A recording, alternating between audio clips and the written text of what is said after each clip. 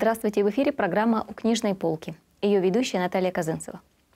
Некогда еще до грехопадения, обитавшим в раю Адаму и Еве, было открыто множество глубочайших тайн божественной жизни. Среди них, конечно же, было и знание о Боге именно как о Троице. Однако вместе с отпадением человека от Бога эта божественная тайна, бытие Бога Троицы, наряду с другими таинствами, оказалась людским родом позабыта – и только с наступлением Нового Завета Пресвятая Троица вновь открыла себя позабывшему о ее существовании человеческому роду. Это откровение осуществилось в полноте именно в день Пятидесятницы, при сошествии Духа Святого на апостолов. Этому событию посвящена очередная книга Петра Юрьевича Малкова, вышедшая в свет в издательстве «Никея». Она называется «Пятидесятница. День Святой Троицы и сошествие Святого Духа. Антология святоотеческих проповедей».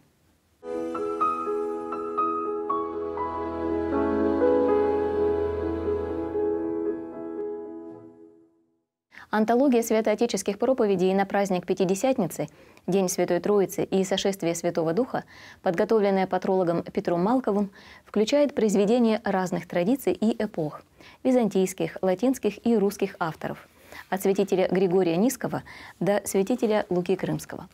Издание предваряет вводная статья – призванная в ясной и доступной форме познакомить читателя с важнейшими богословскими и нравственными особенностями святоотеческого учения о духовном значении этих евангельских событий. В этой статье прежде всего автор отмечает, что в ряду других годичных православных праздников Пятидесятница, отмечаемая на 50-й день после Пасхи, один из самых значимых и важных. День Святой Троицы, как его еще именуют, радостное торжество начала лета – для христиан это день особый, не похожий ни на один другой в церковном году.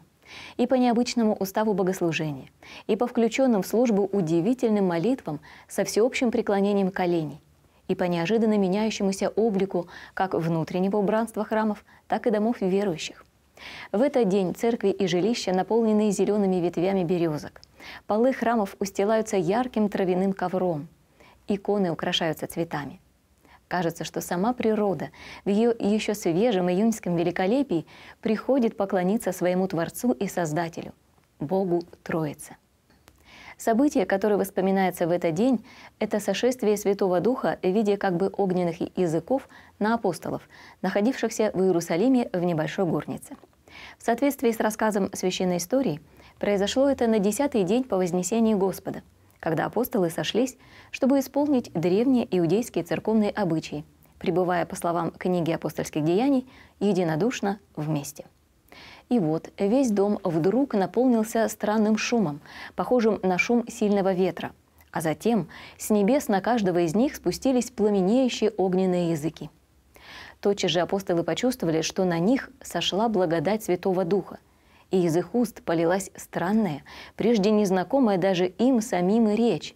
Они вдруг начали говорить на языках тех народов, что населяли в ту пору пределы Римской империи.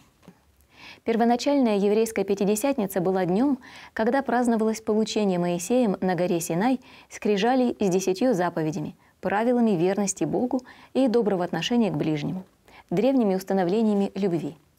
То был момент рождения древней церкви Израиля чтивший единого и истинного Создателя. Новозаветная же Пятидесятница стала днем рождения Церкви Христианской.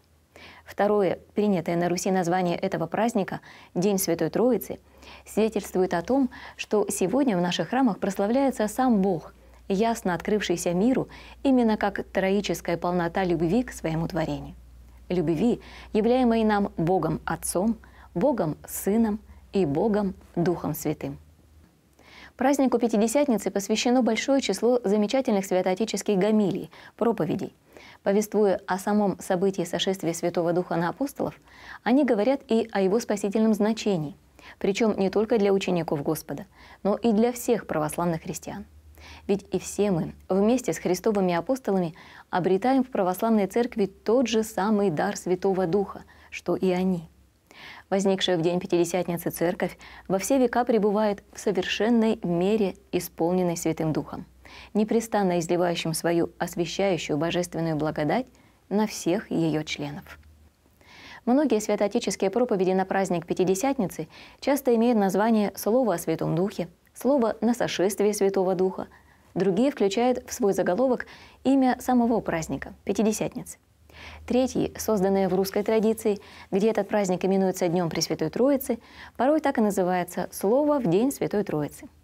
Древнейшие и наиболее значимые по содержанию проповеди на праздник Пятидесятницы принадлежат таким восточным и западным святым отцам, как святители Григорий Богослов, Григорий Низкий, Иоанн Златоуст, Максим Туринский, Григорий Палама, Блаженный Августин, преподобный Феодор Студит и другие – также ряд важных идей, связанных с духовным значением сошествия Святого Духа на апостолов, мы находим и в тех святоотеческих гамилиях, которые, хотя и не были напрямую посвящены празднику Пятидесятницы, при этом подробно истолковывали смысл совершившегося в Сионской горнице события. Среди них, например, огласительное слово 17 святителя Кирилла Иерусалимского и гамилий на книгу «Деяний апостольских» святителя Иоанна Златоуста. До нас также дошли древние проповеди на Пятидесятницу, которые приписываются авторству различных святых отцов, но на самом деле им не принадлежат. Но и эти творения, возвышенные по красоте духовных образов и литературного слога, богословски глубокие по содержанию, также, безусловно, принадлежат церковному священному преданию, приумножая его духовную сокровищницу. Именно поэтому некоторые из них тоже публикуются в этой книге. Многие замечательные слова на праздник Пятидесятницы Святой Троицы принадлежат святым нового и новейшего времени XIX-XX столетий. В книге публикуются проповеди святителей Филарета Московского, Феофана Затворника, Николая Сербского, Луки Воина Есенецкого, святых праведных Иоанна Кронштадтского и Алексея Мечева. Всех названных святых отцов вдохновил на эти богословски глубокие и прекрасные проповеди сам Святой Дух – ведь именно его прославлению прежде всего и посвящена Пятидесятница.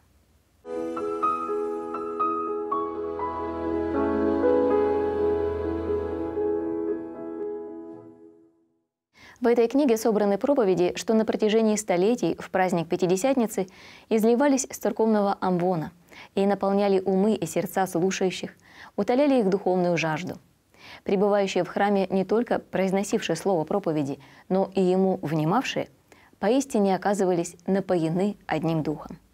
Всякий христианин призван сподобиться того же самого дара, которого сподобились апостолы в день Пятидесятницы. Ведь без жизни в Духе Святом, без причастия Ему спасения быть не может. На такой мысли решительно настаивают все святые отцы, авторы проповедей на этот церковный праздник – Познакомиться с избранными из них вы сможете с помощью этой книги. Дорогие друзья, на этом время нашей программы подошло к концу. Я с вами прощаюсь и, как всегда, желаю интересного и полезного для души чтения. Всего вам доброго. Спрашивайте новинки православной литературы в церковных книжных лавках и православных библиотеках. До свидания.